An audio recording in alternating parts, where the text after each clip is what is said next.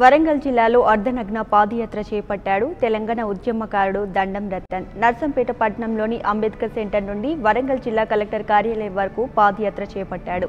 ఉద్యమకారుడిగా తనను గుర్తించడం లేదని ఆవేదన వ్యక్తం చేశాడు. పథకాలు అర్హులైన లబ్ధిదారులకు అందకుండా బీఆర్ఎస్ నాయకులకు చేరుతున్నాయంటూ ఫైర్ అయ్యారు.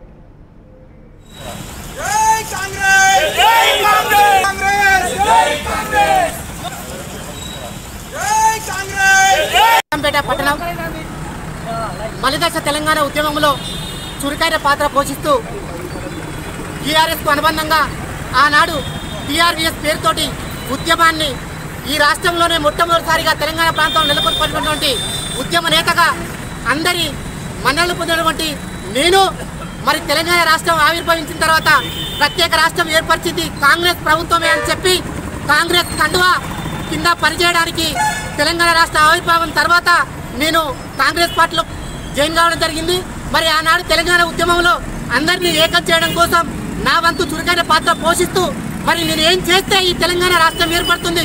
మీరు ఏం చేస్తే రాజకీయాలకు అతీతంగా ప్రజలు ఏకతాటిపైకి వస్తారనే ఒక నినాదాన్ని ముందుకు తీసుకెళ్ళాలి అనే నా దృఢ నిశ్చయం కూడా ఒక సందర్భంలో సన్నగిలిన సందర్భంగా నాకు నేనుగా ఈ తెలంగాణ రాష్ట్రం కోసం ఆత్మార్పణ చేసుకుంటే తప్ప ఈ ప్రాంత ప్రజలు ఏకం కారనే ఒక దృఢ నిశ్చయంతో నా కుటుంబానికి కూడా విడబడాలి. నేనున్న ఈ లోకాన్ని వదులుతనే ఈ రాష్ట్రానికి ప్రజలందరూ ఏకమవుతారని చెప్పి ఆనాడు తెలంగాణ రాష్ట్ర ఏర్పాటు కోసం ఆత్మ బలిదానం చేసుకున్నటువంటి ఓ వ్యక్తిగా ఆనాడు మీ అందరికీ సుపరిచితున్నాయి కానీ ఈనాడు ఈ తెలంగాణ రాష్ట్రంలో ప్రభుత్వం ప్రవేశపెట్టినటువంటి దళిత బంధు దళితుడనైనటువంటి నాకు కూడా వర్తింప చేయకుండా రాజకీయ కక్ష సాధింపు చర్యగా ఈ నియోజకవర్గం ప్రజా ప్రతినిధులు మరి గౌరవ శాసనసభ్యులు ఎదుర్కోవడం నా దురదృష్టం. మరి నేను ఆనాడే ప్రాణాలు కోల్పోతే ఈ నా కుటుంబం ఒంటరిగా నిలిచేది తప్ప ఇలాంటి పాలకులు నా కుటుంబానికి ఏ విధంగా ఆదుకోకపోరు. ఎందుకంటే ఈనాడు అమలు చేస్తున్న దళిత బంధే ఇందుకు నిదర్శనం.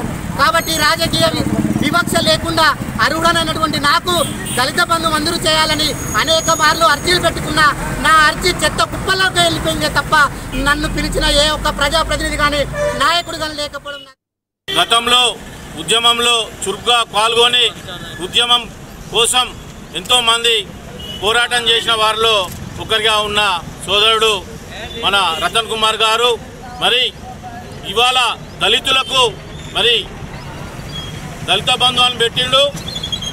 మరి కేసీఆర్ ప్రభుత్వంలో మరి కేసీఆర్ గారు వారి యొక్క పార్టీలో ఉన్నవారి కోసమేనా అందరిని కలుపుకొని అన్ని సామాజిక వర్గం వాళ్ళ దాంట్లో ఉన్న ప్రతి ఒక్క పేద నిరుపేద కుటుంబాలకు దళితులకు ఇవ్వాలని పెట్టిండా?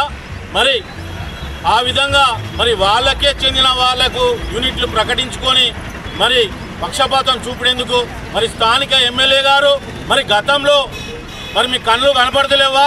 మరి గతంలో నీతోని మరి పార్టీలో చురుగ్గా పాల్గొని ఉద్యమంలో పాల్గొన్న ఈ రతన్ కుమార్ కనీసం మరి నీకు మత్తైన కనపడతలేడా? నువ్వు ఏడైనా కూర్చున్నప్పుడు మరి నిలబడ్డప్పుడు మరి ఆ పిల్లాడు నాతో పనిచేసిండు. ఒక ఐదారేళ్ళు పదేళ్ళు మరి గతంలో పనిచేసిండు. మరి ఆ ఒక్క కనీస మా మా మానవత దృక్పథంతోనైనా మరి ఆయనకు ఒక దళిత బంధు ఇవ్వాలని మీకు కనపడతలేదా? అదేవిధంగా మా కాంగ్రెస్ పార్టీలో కూడా చాలా మంది పేద నిరుపేద కుటుంబాలు నర్సంపేట పట్టణం అయితేంది నియోజకవర్గంలో అయితే ఎంతో మంది ఉన్నారు.